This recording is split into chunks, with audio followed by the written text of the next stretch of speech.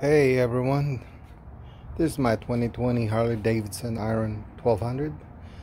Uh, I picked it up maybe like three weeks ago. Um, this one pretty much uh, came bone stock except for the air filter.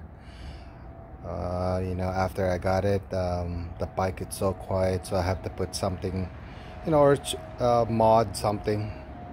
So this one right here, I picked it up at uh, Amazon I did my research first before I purchased this. It sounds really good. Um, changed the foot pegs.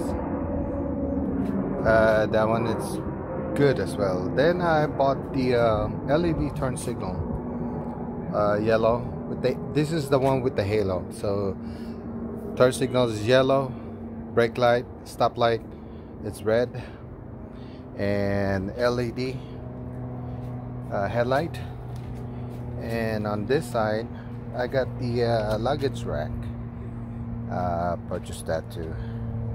Then I got the uh, swing arm bag. Uh, pretty cool. I like it.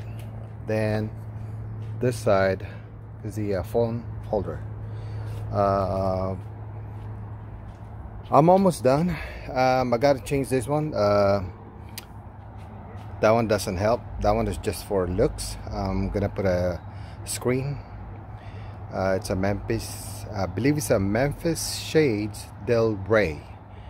Uh, you can put Del Rio but I think they're out of order or out of stock. So I'm picking up the um, uh, Del Rey. Um, it's almost the same. I think the only difference is the height or the length um, and then after that um, I, already, I did already purchase the uh, sissy bar. It's only 20 inches uh, not not uh, long ones. So here we go. 2020 Harley Davidson Iron Sportster 1200